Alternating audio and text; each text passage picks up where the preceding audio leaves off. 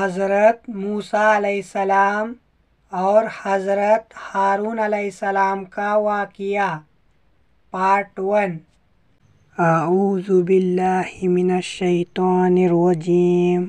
बिस्मिल्लाहिर रहमानिर रहीम।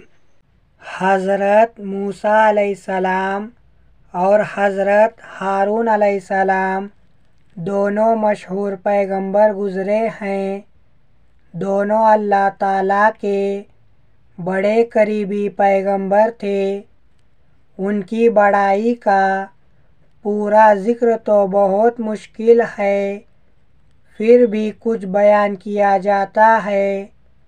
रैयान बिन वलीद के बाद और हज़रत यूसुफ अलैहिस्सलाम के इंतकाल के बाद मिस्र में काबूस नाम का आदमी बादशाह बना।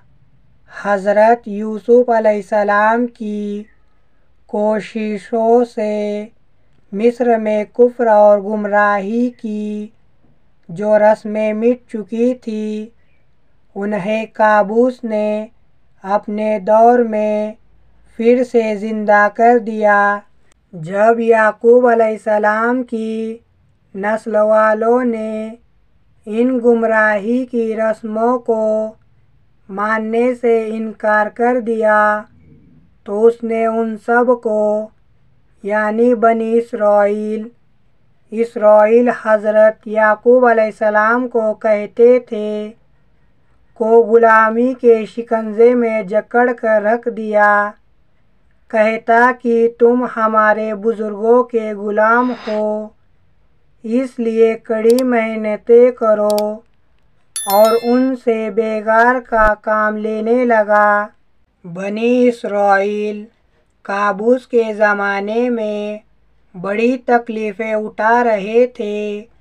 जब काबूस अपने घमंड में चूर हो गया तो उसकी तबाही लाजिम हो गई।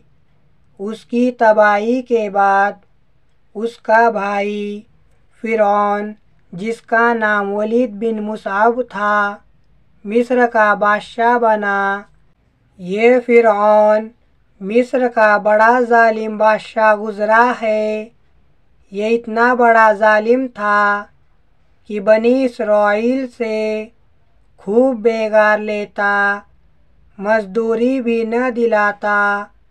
उसने बूढ़ों पर और औरतों पर टैक्स लगा दिया था।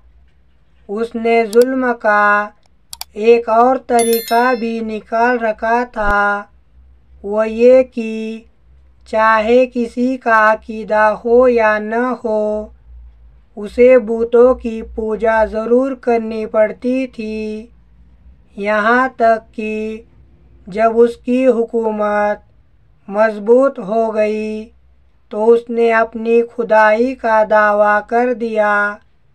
लोगों से बूतों की बंदगी भी छुड़वा दी और अपने लिए सजदा कराना शुरू कर दिया। बनी इसराइल पर तो उसका जुल्म इंतहा को पहुँचा हुआ था, इसलिए कि वो उसको खुदा मानने पर तैयार न थे। वो तो सिर्फ़ अल्लाह ताला को अपना मबूद मानते थे। इंसान को कैसे मान लेते और इंसान किसी इंसान का मबूद बन भी कैसे सकता है?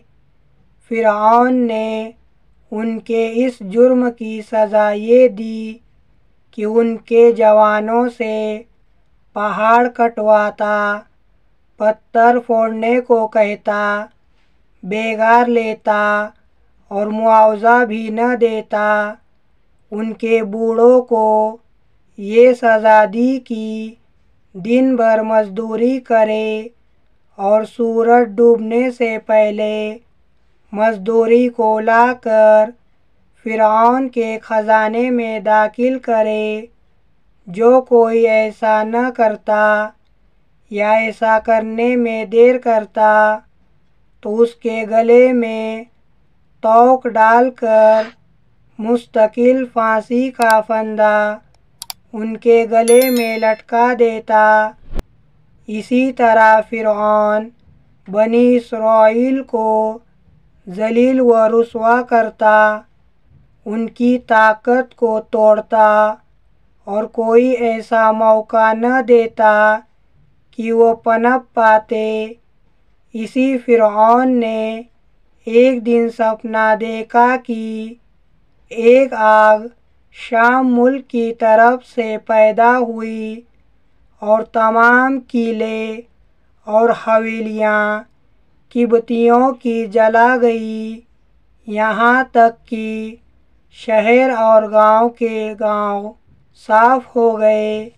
ऐसी ही दीनी मालूम हासिल करने के लिए चैनल को सब्सक्राइब कीजिए। और अपने तमाम रिश्तेदारों और दोस्तों में वीडियो शेयर कीजिए।